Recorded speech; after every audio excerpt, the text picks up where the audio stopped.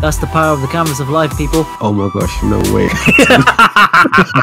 So a lot of people did say they were they wanted to talk about the impact of COVID on the economy, and we wanted to ask someone who knew a lot more than Oh, people are finished, man. sorry.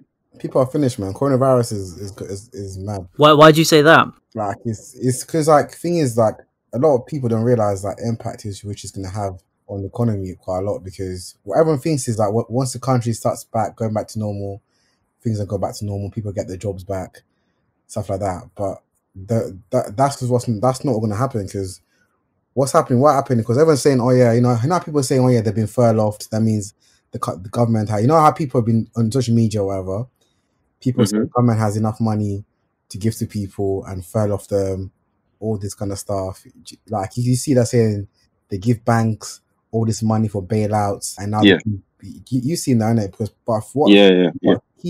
We don't realize in social media is like the government give banks, for example, they give they gave banks before like I think it was 137 billion on Right. on, on, on bailouts, and the banks have paid the money. So like it's not like it's a bailout where the banks keep the keep the money, the banks have to pay it back. So like for example, if the, if the government gives the public the money back, the money for furlough for, for furlough, like the public ain't gonna pay the money back. That's money. do, do you think that we're gonna we're gonna have to pay for this in the future? So through taxes and Of course, taxes taxes taxes are gonna get raised. Taxes which is what we raised. yeah like you can see now in London as well. What, what like they've literally increased that they, they've increased the congestion charge, isn't it? From Yes, 11, yes. I, think, I think it was eleven pounds, and they made it longer as well. And they've literally charging people from they've ch- charging people again to do to take in the things like the TFL. yeah. So yeah yeah. So I think they raised it to like fifteen pounds from like Yeah. eleven pound fifty. Yeah, so like they're doing that, well, and they're doing yeah. So it's like just like just thinking that they're already they're already starting low key starting already, Right. Like, because like all the money they're losing, they can make their money back. It is a lot of money to be fair. I mean, at the beginning it was like three hundred billion, wasn't it? Yeah, it's a lot. It's like they're, they're spending 14 billion a month on furlough schemes. And also, as well, you got to remember, like, they're literally losing money, not gaining any money Yeah, because people aren't working. So it's like, it's not like where be, usually before, like, they, they get,